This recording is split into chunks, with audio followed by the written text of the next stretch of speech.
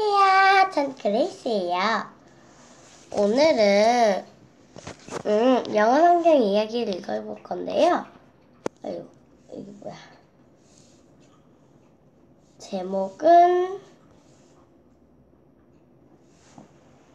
어디로 가든지 어디로 가든지라는 이야기예요. 읽어드릴게요. 이스라엘에 흉년이 들었어요. 엘리멜렉과 나오미는 두 아들을 데리고 양식을 찾으러 모압 땅으로 갔어요. 그런데 그곳에서 엘리멜렉과 그의 두 아들이 죽었어요. 그리고 그들의 아내인 모압 여인 오르바와 룸만 남았어요. 슬플 것 같아요, 아들이. 음, 엘리멜렉 아들이 죽었대요.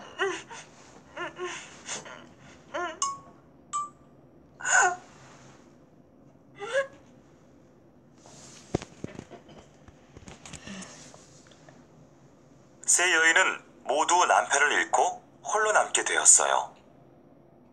나오미는 이스라엘 땅에 흉년이 끝났다는 것을 듣고 고향으로 돌아가기로 결심했어요. 나오미가 며느리들에게 말했어요. 너희는 이곳에 머물러 있어라. 여기 모압이 너희들의 고향이잖니.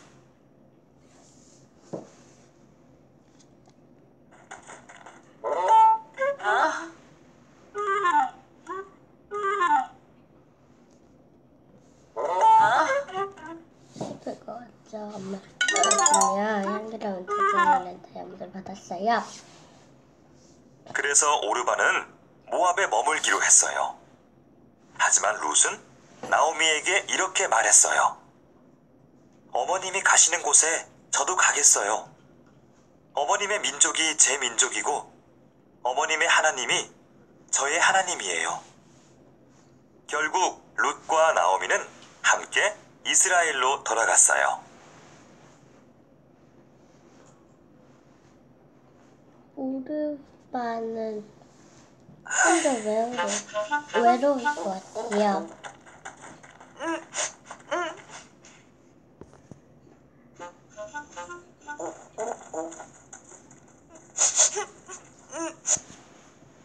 또 한 번 해볼까요? 그럼 없어질 것 같은데?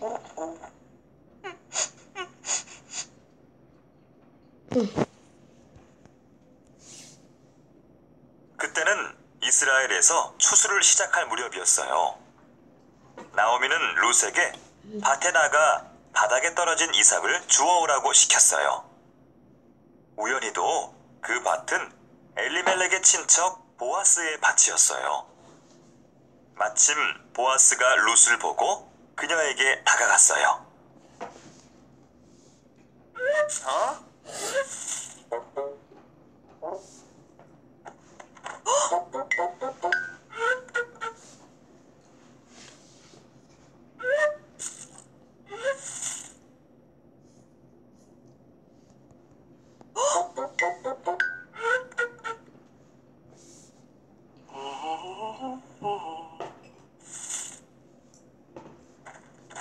이렇게 추수를 하고 있죠.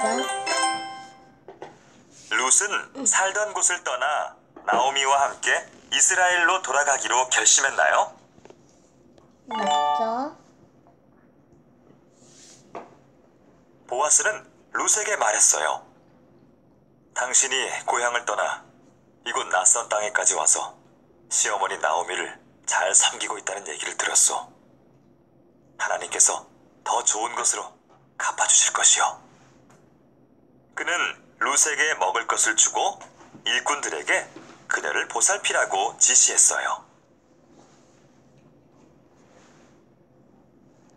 네.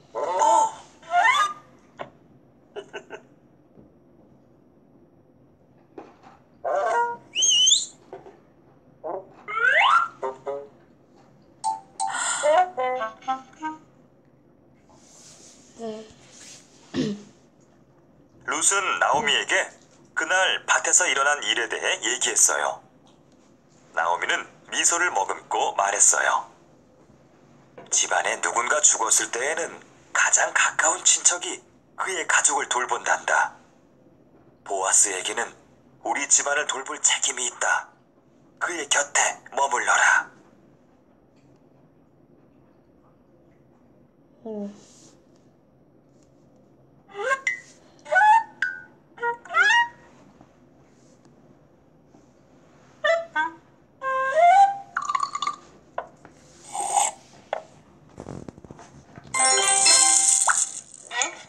보아스가 일꾼에게 별, 롯을 보살피도록 말을 하고 어- 또 어떤 것을 선물로 주었나요? 1번 닭, 2번 음식, 3번은 항아리, 물, 아니 물 같은데요? 두 번째죠?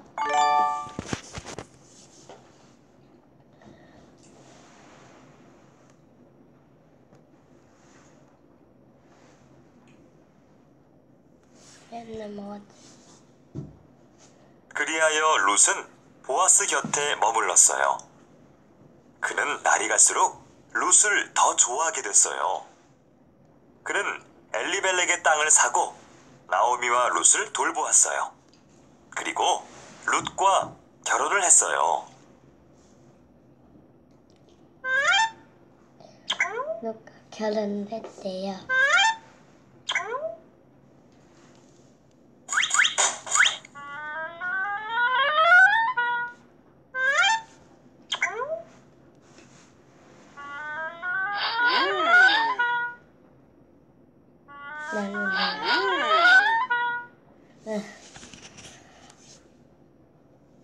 룻은 오벳을 낳았어요. 오벳의 아들은 이세고 이세의 아들은 다윗이에요. 보아스가 룻을 축복했던 것처럼 하나님께서는 룻에게 다윗 왕의 조상이 되는 축복을 주셨어요. 네, 여기.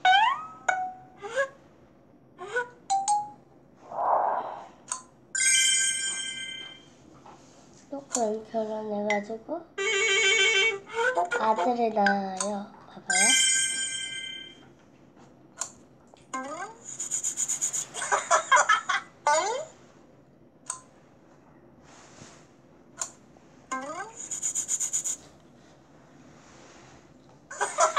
이게 끝인가 봐요.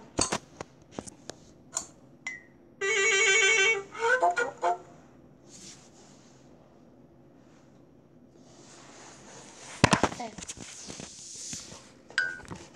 이스라엘의 가장 위대한 왕 다윗의 룻의 증손자였어요. 맞죠? 네, 오늘은 어디로 가든지라는 이야기를 읽어봤는데요. 재밌었나요? 그럼 또 다음번 재밌는 이야기를 읽어드릴게요. 그럼 안녕!